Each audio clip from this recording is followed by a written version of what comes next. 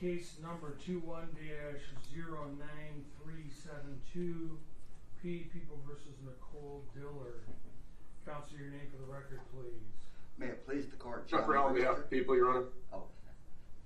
May it please the court, John Brewster, P three six nine two zero, on behalf of Nicole Dillard. Good morning. Uh, Can you have your client identify herself? I am Nicole Dillard. Okay. Counsel, would you like me to read the charges to your client? You waive the formal reading. We waive a formal reading of the complaint and stand mute, Your Honor. Thank you. Not guilty plea will be entered. Your appearance is already on file. As these are all misdemeanor charges, this matter will be set for a pretrial before Judge Stephen Sierawski, January thirty-first, two thousand twenty-two, at two thirty in the afternoon. Presumptively, that'll be by way of Zoom. But read the notice you actually get.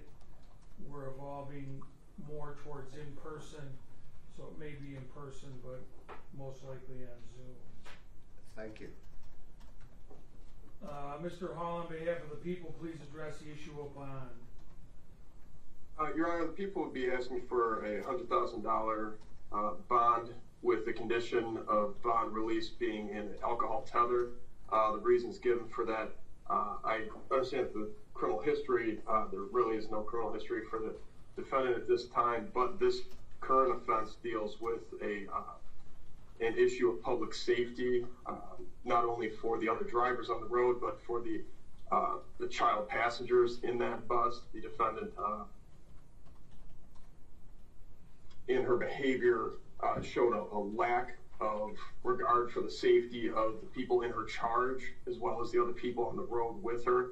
Um, so, as part of the uh, consideration for bond, it is the uh, court's requirement to look at the uh, safety of the public, and I think in that regard, it does require a large bond. And I think $100,000 would be sufficient to um, deter the defendant from committing any of the other acts while on bond, uh, such as this. Well, okay.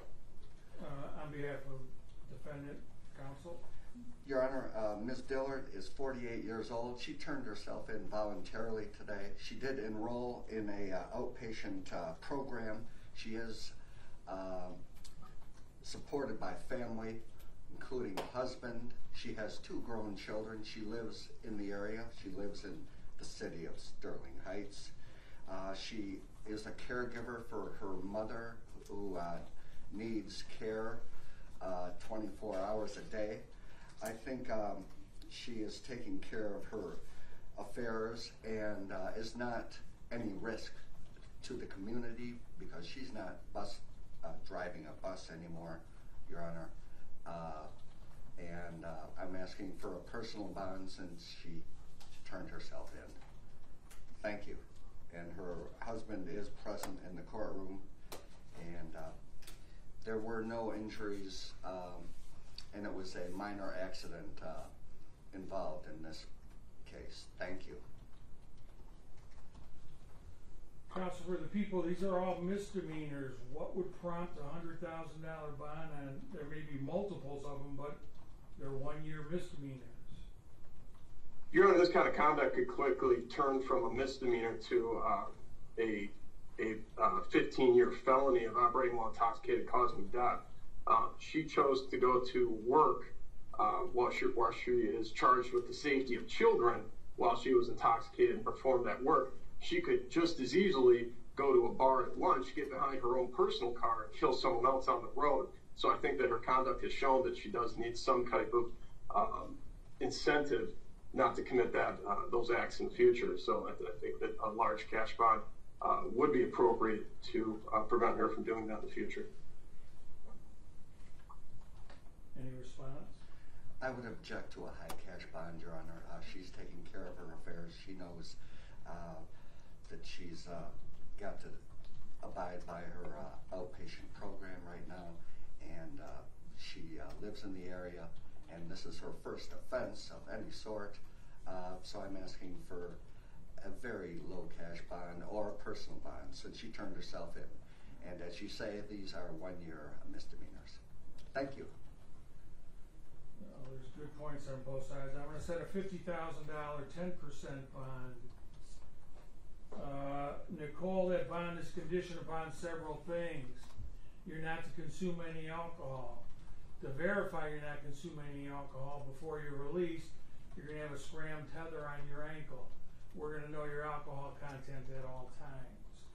Any positive test for alcohol would be cause to revoke your bond, meaning you might just stay in jail until this matter concludes.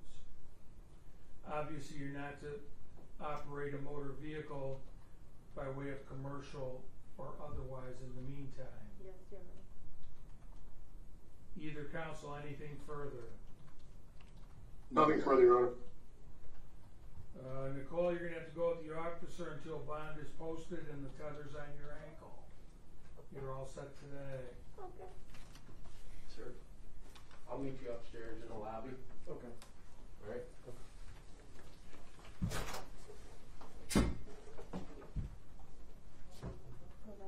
Right this way. Okay.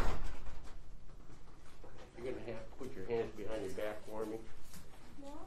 You're going to have to put your hands behind your back for me. Lace your fingers like you're praying. You have anything on you that I should be concerned about? Counsel, will get you that copy before you go. Okay, should I wait here, Your Honor? Uh, In the courtroom? Yeah, I'll take it, I'll get you for you. Oh, thank you, I'll wait here.